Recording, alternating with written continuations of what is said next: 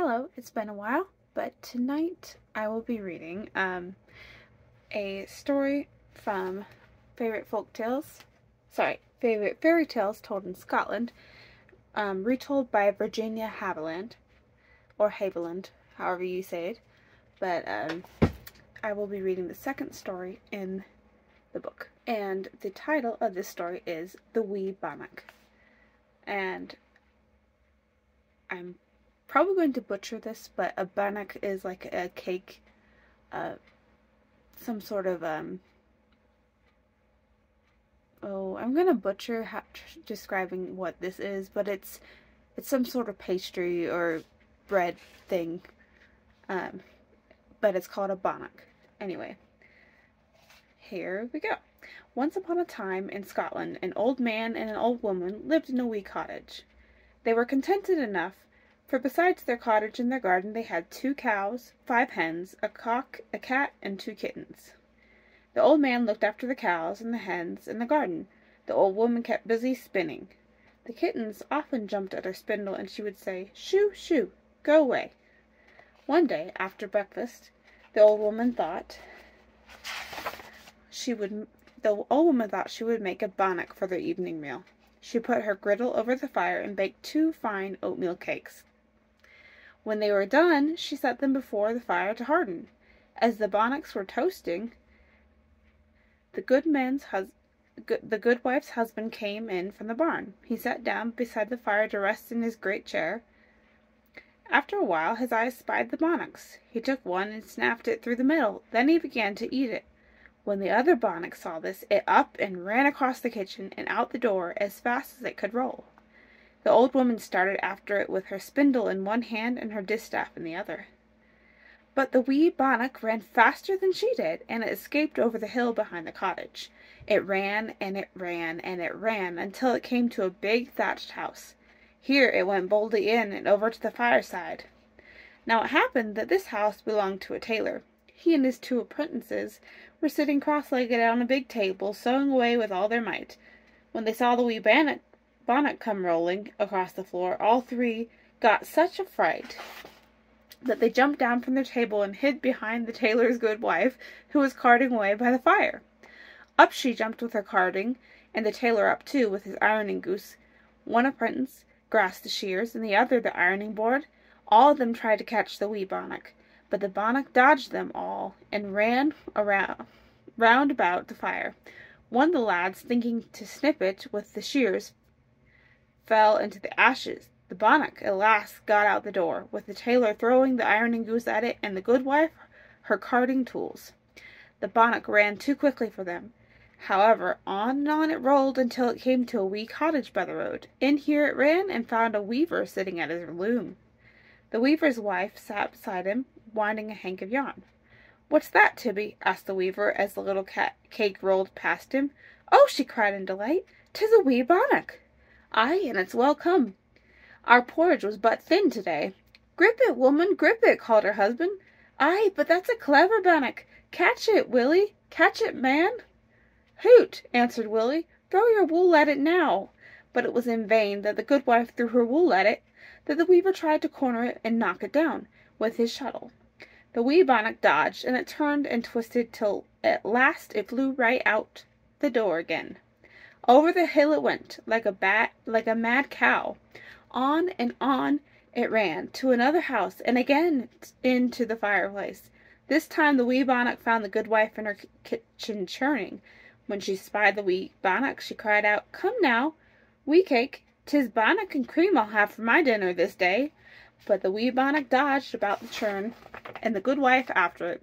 In such a hurry she was that she all but upset her churn, and before she could got it set right again, the wee bannock was off and down the hill to the mill, and in it ran. The miller was sifting meal, but he looked up at the wee bannock and as it rolled across the floor. Ay, 'tis a sign of plenty, just when bannocks are running about and nobody to look after them. But I like bannock and cheese. Come your way hither now, and I'll give you a night's quarters, wee bannock. But the little bannock was not going to trust itself to the miller and his cheese, so it turned fast and ran right out again. The miller was that busy that he did not chase it either. the wee bannock toddled away and on and on till it came to the smithy, and in it popped and right up to the anvil. The smith was at work making horse nails when the wee bannock entered. Ay, I do like a glass of good ale and a well toasted bannock, he cried. Come your way by here. But the wee bannock was afraid when it heard about the ale. It turned and was off as hard as it could go, and the smith after it with his hammer. When the smith saw that he could not catch up to it, he flung his heavy hammer after it to knock it down, but luckily for the wee bannock, he missed, and the bannock was now out of sight. On and on ran the bannock till it came to a farmhouse with a great stack of peats drying for the fire. Into the house it ran and up to the fireside. Here the good man was working with flax, separating the lint from the stalks with a cloving stick. His good wife was combing that he had already what he had already separated. "Oh, Janet!" cried the goodman, "here's a wee bannock come in.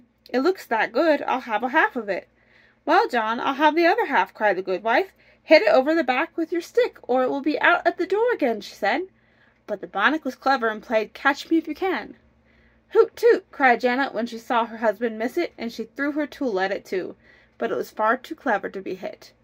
This time the wee bannock ran along the brook till it came to a wee cottage standing in the heather. Here the goodwife was stirring the soup. Her good man was braiding straw ropes for tying the cows. "Oh, Jock, come here! Come!" cried the goodwife. "You are forever crying for a wee bannock for the supper. Here is one come right through our door. Quick, and I'll help you grip it." "Ay, mother, but where is it?" "See there, man! There, under the chair!" cried his wife.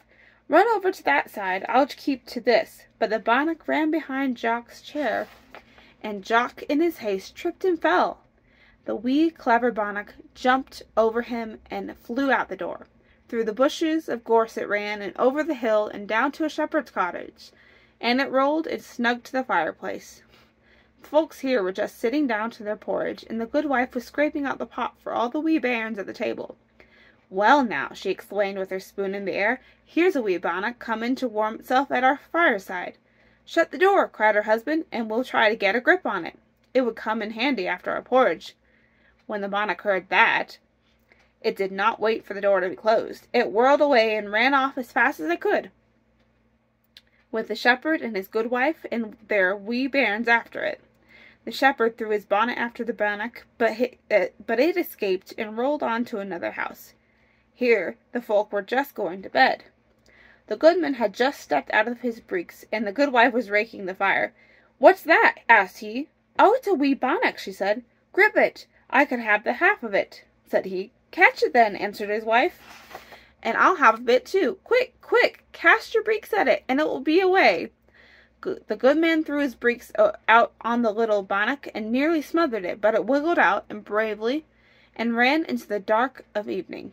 The goodman went on and on, chasing the wee bannock far across the moor, but then he lost it.